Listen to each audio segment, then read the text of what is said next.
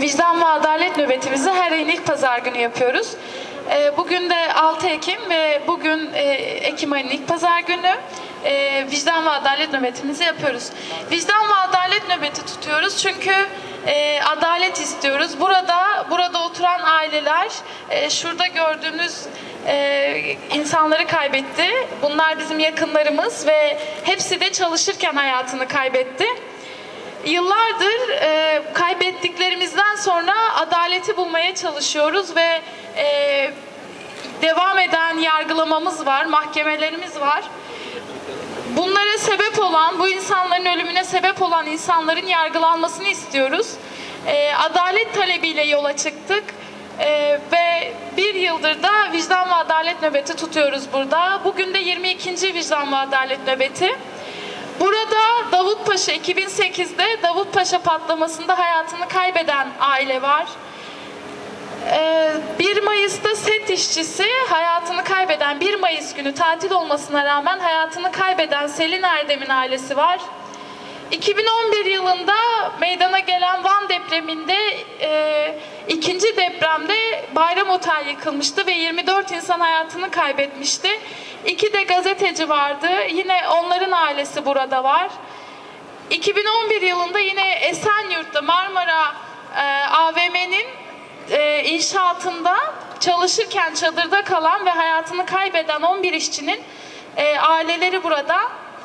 Yine elektrik işçisi Erkan Keleş'in e, ailesi burada. Yine bayram günü çağrılıyor E, ve gerekli aletler verilmediği için e, elektrik direğinde asılı kalıyor ve hayatını kaybediyor.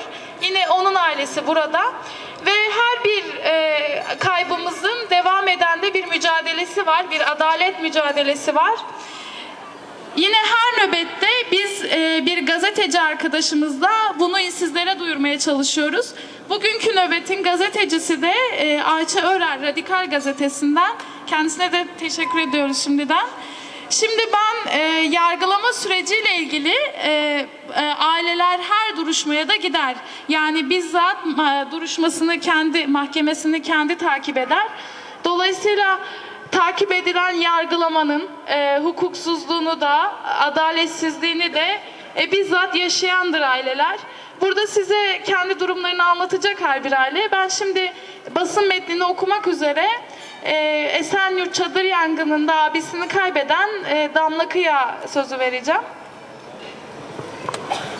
Basına ve kamuoyuna 22. Vicdan ve Adalet nöbetimize destek vermek üzere gelenlere öncelikle teşekkür ediyoruz.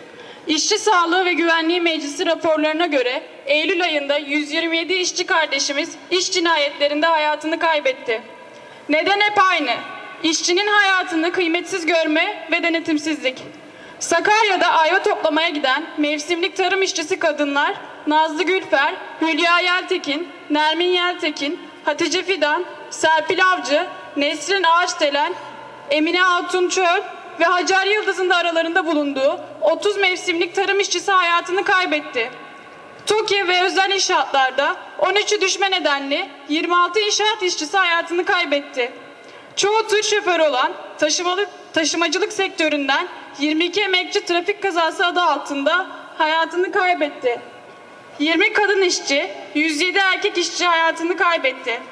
9 yaşındaki temizlik işçisi Nazar Güvendiren, 13 yaşındaki metal işçisi Sami Kozan, 15 yaşındaki inşaat işçisi Vefa Aydemir, 17 yaşındaki metal işçileri Ali, Kara, Ali Karkaş, Faruk Dumlupınar ve İlhan Yiğit ile yine 17 yaşındaki tarım işçisi Faruk Can Güvenç 7 çocuk işçi hayatını kaybetti.